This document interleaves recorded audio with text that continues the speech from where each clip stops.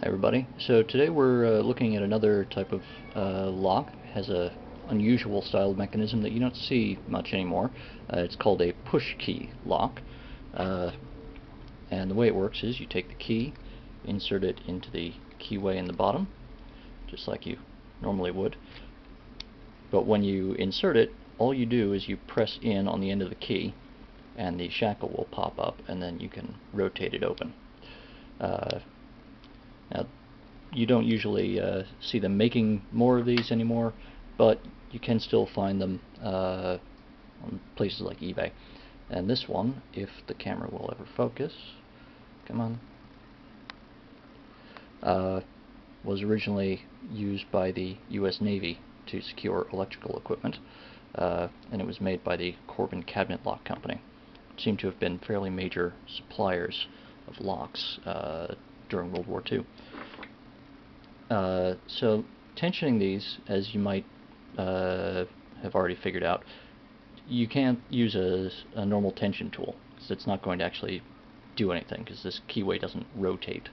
Um, what you do is you take a uh, small screwdriver or something similar and stick it in between the body and the vise or if you have it locked onto the uh, onto a padlock hasp or something, you would just pull on it.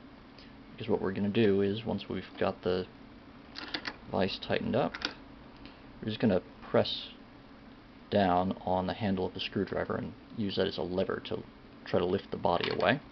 And I'm going to use a slim hook. And uh, tensioning it this way does tend to mean that you end up putting fairly heavy tension on it but uh, it'll still work. And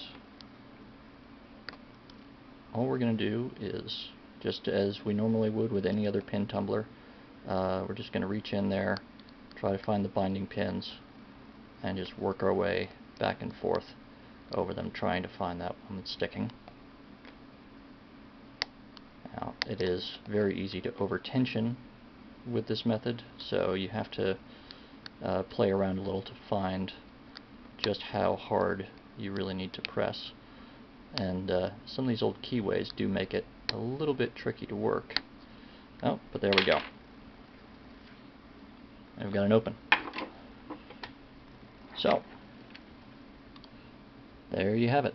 Until next time, uh, have fun, stay safe, and happy picking.